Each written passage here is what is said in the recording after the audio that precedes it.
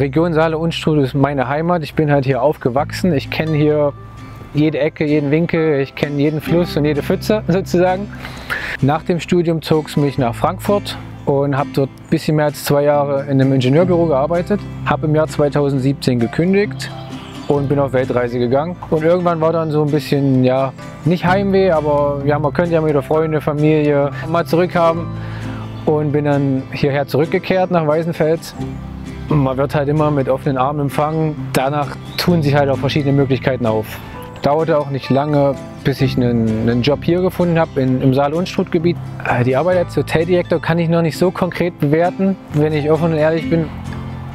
Was mich aber reizt an der Geschichte ist halt, dass ich wieder mehr mit Menschen zu tun habe, mehr kommunikativ sein kann und auch Leuten, die hier zu Besuch sind, unsere Region näher bringen kann. Also Geheimtipps gibt es sicherlich noch einige zu finden hier in der Region. Was für mich ganz toll ist, ist immer diese Kombinierbarkeit von Outdoor-Aktivitäten mit Geschichte, mit Weinbau, dass man das halt alles irgendwie verbinden kann.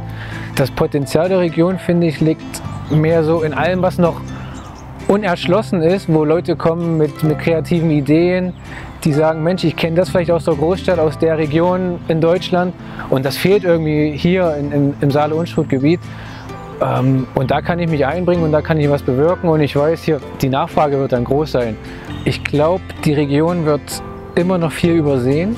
Ich glaube aber gerade hier im Tourismus gibt es viele Möglichkeiten, Saale-Unstrut was zu bewirken. Mein Rat für, für Heimkehrer, ist, ähm, sich erstmal bewusst zu machen, was man in einer Heimat liebt, was man dort bewirken kann. Seid ein bisschen dankbar vielleicht, dass ihr die Chance habt, hier zu wohnen und das auch anderen Leuten näher zu bringen.